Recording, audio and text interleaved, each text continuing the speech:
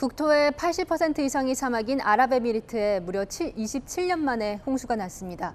나라 밖 소식은 전혜정 기자가 전해드립니다.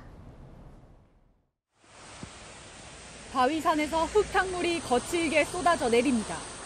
물에 잠긴 자동차는 도로 한복판에 멈춰 섰고 이슬람 사원 모스크도 침수됐습니다. 현지 시각으로 지난달 27일부터 아랍에미리트에 쏟아진 폭우로 침수 피해와 함께 4천여 명의 이재민이 발생했습니다.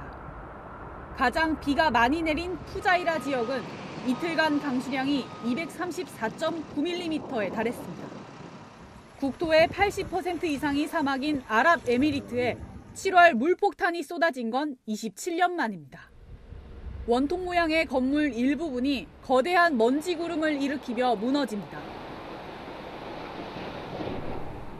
2년 전 레바논 베이루트 대폭발 사건 당시 피해를 입었던 48m 높이의 곡물 저장고에 불이 나면서 일부가 허물어진 겁니다. 214명이 사망한 대폭발 사고 이후 붕괴 우려가 제기됐지만 사고 원인을 밝힐 증거물 보존을 주장하는 희생자 유족 등의 반대로 방치돼 왔습니다. 포장지를 벗겨내자 사람 키만한 상어가 모습을 드러냅니다. 남성 두 명이 들기에도 버거울 정도입니다.